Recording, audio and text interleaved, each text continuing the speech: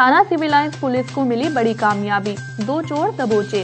रामपुर के थाना civil lines police को मिली बड़ी कामयाबी, दो चोर दबोचे और भेजा जेल।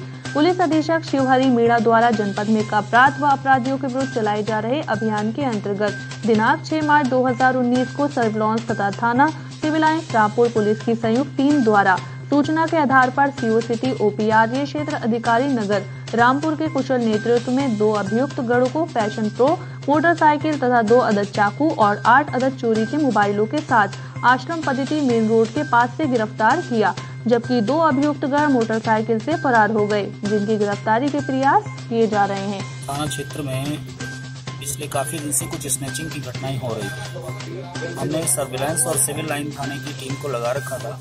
तो कल कुछ लड़के पकड़े हैं जिनमें से एक का नाम फैजान है एक मौजम है। इसमें दो लड़के भाग गए हैं दो ये पकड़े गए हैं। इनसे आठ मोबाइल और एक मोटरसाइकिल तथा दो चाकू बरामद किया गया है। कि किस तरह से मतलब चोरी करते थे? स्नैचिंग जैसे चेन स्नैचिंग कर लेते हैं चलती मोटरसाइकिल से चलते हैं। और चलते आदमी से अगर मोबाइल से बात कर रहा है तो मोबाइल छीन लेना इसमें चेन स्नैच कर लेना। कोई आदमी चाय पी रहा है कहीं खड़ा होकर तो उसके मोबाइल छीन के ले जाना। या पान खा रहा है तो पान की दुकान पे का कोई खड़ा है तो वहाँ से ले जाना। इस तरह की घटना ये कर रहे थे। अभी कितनी घटना घटनाएँ है इसमें कई सारे मोबाइल आठ आठ मोबाइल इसमें इनसे बरामद हुए डिफरेंट प्रोविज़न से इन्होंने चोरी किए हैं। इनका कोई इतिहास तो नहीं है आ, लेकिन इनका पैशन जो है पिछले काफ़ी दिनों से इस तरह का